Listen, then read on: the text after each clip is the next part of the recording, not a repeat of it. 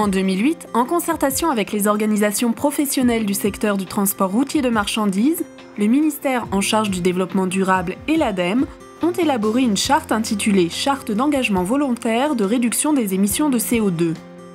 Parmi elles, depuis le 6 septembre 2010, Mondia Wincanton, rebaptisé récemment Rhenus Logistique Alsace.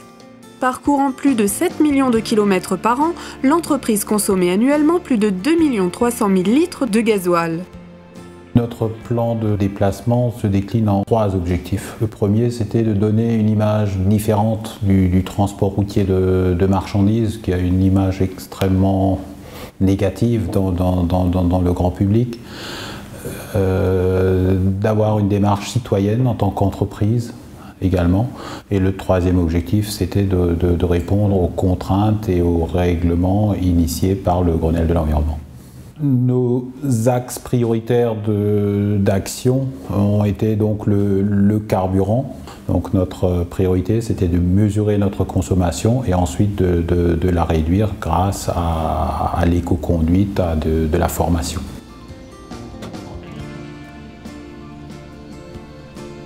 Donc rappelle-toi, les simples règles de la conduite rationnelle, c'est d'une, tout en respectant les plages vertes, hein, entre 1000 et 1500 tours, d'arriver le plus rapidement possible à la vitesse de croisière. Donc là, on est euh, sur Strasbourg, c'est limité à 40. Hein.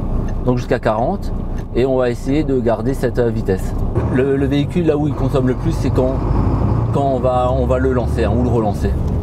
Donc ça, on va essayer de, euh, de, l'enlever complètement. Chaque camion est doté d'un système de suivi qui permet d'évaluer la conduite du chauffeur. Ah, donc tu vois la différence entre ma conduite et la conduite rationnelle avec toi. Hein. Donc tu vois la première conduite, la première conduite on est passé alors sur le parcours, hein. sur le parcours on est passé de 43 litres à 34 litres. Donc tu vois en changeant pas grand chose en fait, juste en anticipant, en laissant couler un petit peu. Euh, on peut voir aussi euh, le nombre de coups de frein. Le nombre de coups de frein. Donc tu vois le nombre de coups de frein, 283 coups de frein alors c'est au 100 km. Hein. Et bon on est passé à 90. Ouais, ça fait quand même 200 coups de frein de moins quasiment. Et tu vois, du temps passé au pourcentage de temps passé au ralenti, de 17%, on est passé à 6%. Mhm. Donc que du bénéfice. Les données concernant les déplacements de chaque camion sont ensuite enregistrées et analysées. Concrètement, nous avons démarré avec une moyenne sur l'ensemble de l'année 2009 de 32,33 litres. Aujourd'hui, sur les six derniers mois, notre consommation moyenne est de l'ordre de 30 litres 30. Donc on a réussi à économiser 2 litres au 100 grâce au travail qu'on a fourni avec l'ensemble des collaborateurs, les formateurs, nos responsables d'exploitation, ainsi que bien sûr les chauffeurs qui ici ne jouent pas le jeu et si on ne les intègre pas dans la démarche ne répondront pas présents. Hormis l'économie de gasoil et la réduction de gaz à effet de serre, la conduite rationnelle présente d'autres avantages.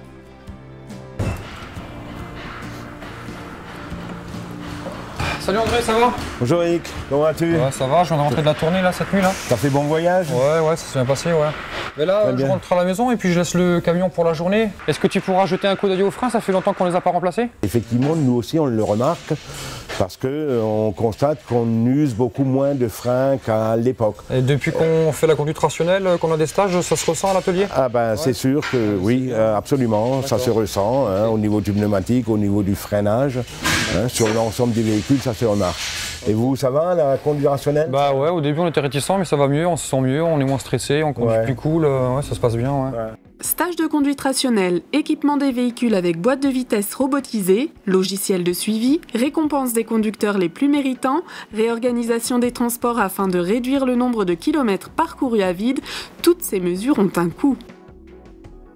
Toutes les mesures que nous avons mises en place sur les dernières années nous coûtent environ 50 000 euros par an ce qui peut paraître important. Mais par contre, quand on voit les économies que nous faisons en parallèle, euh, aujourd'hui, je peux, sans me tromper, affirmer euh, que nous faisons au moins 200 000 euros d'économie de carburant par an en économisant 2 litres au 100. Donc le, rapport est fait très rapidement et on se rend compte que c'est vraiment intéressant de, de travailler pour l'écologie. Véritable projet d'entreprise, le plan de déplacement se construit progressivement. Il nécessite une certaine mobilisation et surtout une concertation de l'ensemble du personnel. Si les actions proposées par le dispositif Charte CO2 étaient généralisées à l'ensemble des entreprises, cela contribuerait à une baisse de 60 000 tonnes de CO2, ce qui correspond à un tiers des objectifs fixés par le Grenelle de l'environnement dans le domaine du transport routier de marchandises.